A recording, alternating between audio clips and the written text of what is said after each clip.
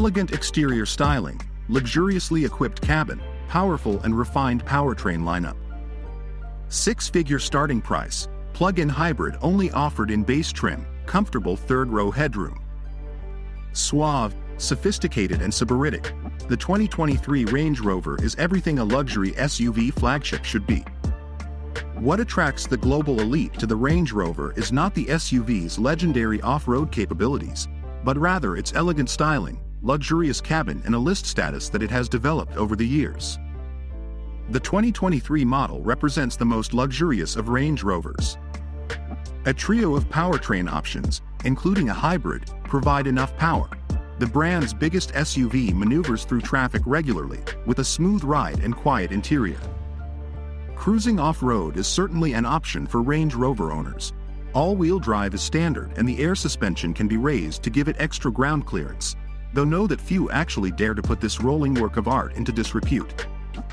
The revamped Range Rover is technically debuting for the 2022 model year, but is confusingly being sold alongside the previous generation model, and not all variants are available.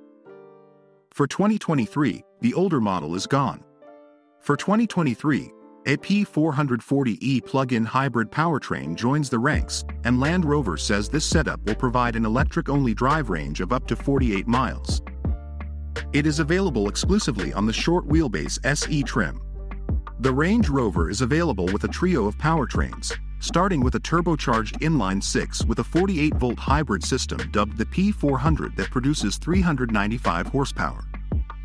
It proved smooth and provided enough oomph to tow a massive Range Rover.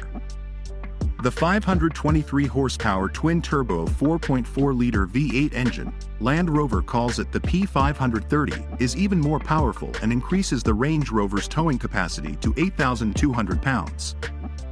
On the test track, the P530 accelerated the Range Rover to 60 miles per hour in 4.3 seconds. The P400 does it in 5.5 seconds. A 434 horsepower plug-in hybrid option, called the P440e, is also available but only in the short wheelbase SE trim. The long wheelbase P400 test vehicle managed to reach 60 miles per hour in a fairly quick 5.5 seconds while the short wheelbase P530 tested did it in just 4.3 seconds. The Range Rover's ride is supremely luxurious and, with the adjustable air suspension set to comfort mode, it almost floats on the road. Turning the switch to dynamic mode makes some things better, but the big Rover is still aiming for its comfort first mission. Like previous Range Rover generations, this new generation model offers a luxurious interior trimmed with rich leather and wood, but buyers wanting a more eco-friendly cabin can now opt for the new leather-free option, which is made from wool or other textiles. The interior can be arranged to seat 4, 5 or 7 depending on configuration and wheelbase. The third row, even with the long wheelbase trim, may not fit tall adults due to somewhat limited headroom, but shorter riders and children will find the second row just as comfortable.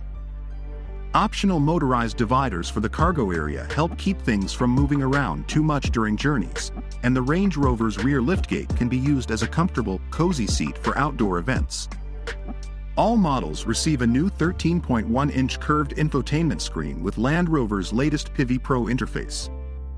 Wireless Apple CarPlay and Android Auto are both standard and the system also accepts Amazon Alexa voice assistant. Other standard features include in-dash navigation, wireless smartphone charging, SiriusXM satellite radio and a 13.7-inch digital gauge display. There is a rear seat entertainment system with dual 11.4-inch screens, as well as a Meridian stereo system with 35 speakers and noise cancellation technology embedded in the headrests.